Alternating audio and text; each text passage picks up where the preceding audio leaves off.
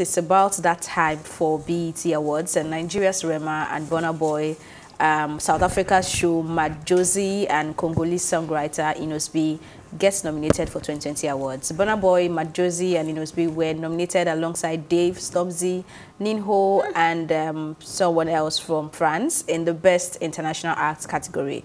Burna Boy had previously won the category in 2019, while um, Rema earned a nod in Viewer's Choice, that's um, Best New International Act category. Yay, I'm happy for Rema. Yeah. Happy for four of them. Which one? Oh, okay.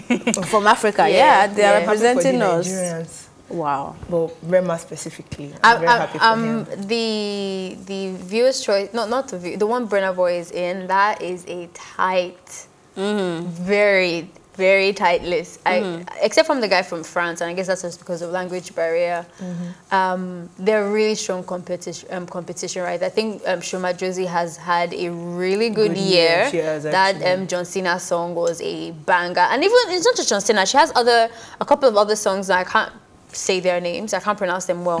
They're all fire. They're receiving her really well, her personality and everything. Like, she's doing really well for herself. And then there's Dave. Oh my gosh, Dave's album. Stop. I think Stormzy to me is a bit too like old for this category. As really? far as I'm, yeah, I nah. think in a, in a way, I feel like I feel like Stormzy yeah, has. Maybe Burna Boy is old too.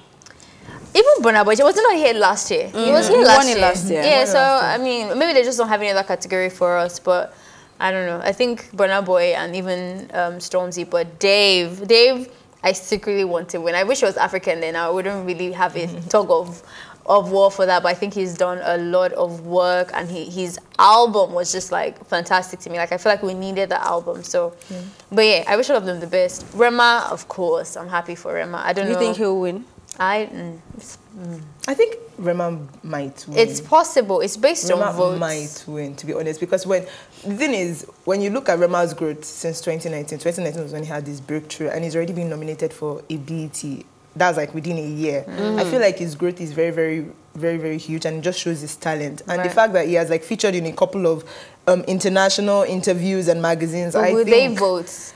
It's it has a huge fan base, uh, not who, just in Nigeria. Fan, the person's I, I fan think, base I think who votes. I'm also looking at his management now and how they have mm. done regarding awards that have got to do with voting. They've always won it. Mm. Yeah. Um, I mean, even when I don't know anybody else, all the competition and their voting history. Because the reason why I keep saying, would they vote, is Beyonce.